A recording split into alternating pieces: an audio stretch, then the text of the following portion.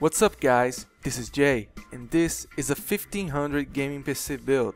This build is sure ready for the future with needless upgrades in a range of 1, 2 or even 3 years from now. This future-proof machine will run every game that will be released this year like The Witcher 3 and the latest release from 2013 like Battlefield 4. All that in max settings and in 1080p. So let's get to the build.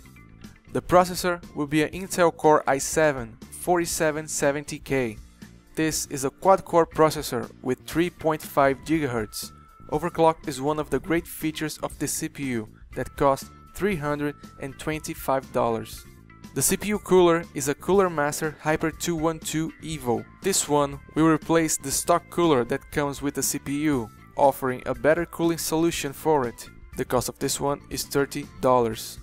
The motherboard is a MSI Z87G45 Gaming. This motherboard has 4 slots of memory with a dual channel support and supports up to 32 gigs of RAM. With this board, you also be able to do SLI or Crossfire. The cost of this one is $130. The memory is a G.Skill Ripjaws DDR3 1866. This one comes with 16 gigs of RAM divided in two modules of 8 this memory costs $158.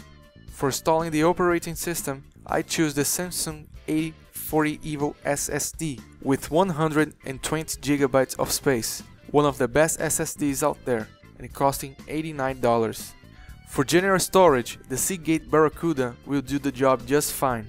With 2 TB of capacity, space won't be a problem for you. The cost of this one is $85. The video card is a GeForce GTX 780 ACX Cooler Edition from EVGA.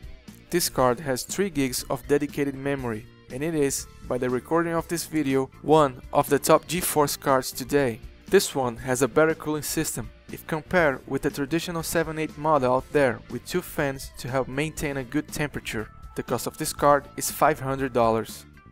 The power supply is a Corsair 750M this one has 750 watts of power and it's a modular power supply with an 80 plus bronze certification. Great power supply that costs $65.